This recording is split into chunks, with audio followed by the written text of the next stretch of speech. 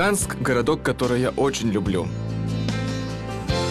Дружба с ним началась несколько лет назад. Меня пригласили сюда выступать на мероприятии в рамках Канского видеофестиваля. Вот здесь, на этой площади. Канск – место нашей встречи. Мы долго не виделись с Леной. Теперь у меня здесь очень хорошие друзья, и мы стараемся иногда навещать друг друга и поддерживать связь. Наша дружба с Антоном началась очень давно. И я рада, что Антон теперь работает на телеканале «Енисей». Я всегда смотрю его по телевизору. И его сюжеты очень радостные, интересные и необычные.